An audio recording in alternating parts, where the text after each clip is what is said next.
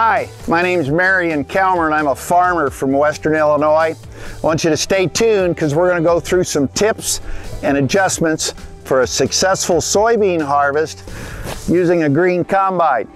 So I've just done a kill stop.